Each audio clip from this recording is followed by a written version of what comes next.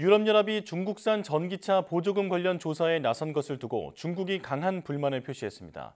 중국 상무부는 홈페이지를 통해 EU가 이번 조사를 게시하면서 중국에 매우 짧은 시간 안에 협상을 진행하라고 요구했다며 충분한 증거나 유효한 협상 자료도 제공하지 않았다고 지적했습니다. 이어 이는 세계 무역기구 WTO의 관련 규칙에 부합하지 않을 뿐더러 중국의 권리를 엄중히 훼손했다고 주장했습니다. 앞서 우르줄라 폰데어 라이엔 EU 집행위원장은 지난달 13일 연례 정책 연설에서 중국 정부의 보조금을 받은 저가 전기차가 시장을 심각하게 왜곡하고 있다며 반보조금 조사를 공식화했습니다.